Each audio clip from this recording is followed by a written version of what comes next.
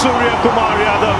You've lit up. absolute quality and he stand that guy center of stage has put on a performance that none of us will ever forget unbelievable stroke play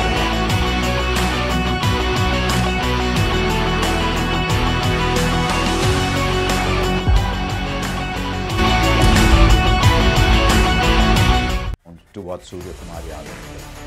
Every time he comes out to bat, you're just sitting there saying, what is he going to do next? We've talked about AB de Villiers at great length, and some might say, oh, sacrilege, that was the great AB. You see Surya bat today, and the range of shots that he had just tells you that there isn't a part of the ground that he's not hitting it.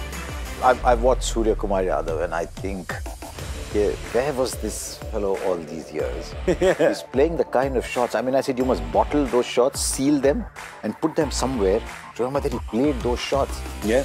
And uh, difficult to I was just him. going to tell about how Surya Kumar Yadav can hit all around the park. I, I have that theory. If someone can hit you over fine leg and can hit you over uh, long off and cover, is the most difficult batsman to bowl to. Yeah. Because you know every batsman has their strengths. Okay, someone can flick you or someone can hit you over mid wicket or square leg. You try and bowl him outside the off stump, but then he'll hit you over cover and mid off. Then margin of error is none.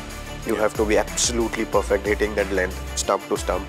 And if you are just a bit, then he'll punish you. So that's that kind of player Surya Kumar Yadav is. And, and he's in the kind of form now that you probably don't even have to err sometimes. You're going to bowl a really good ball. And then he'll just put you over the wicket keeper like that. He's going to do It's scary. Yeah. And you're in this kind of form, you start to feel invincible.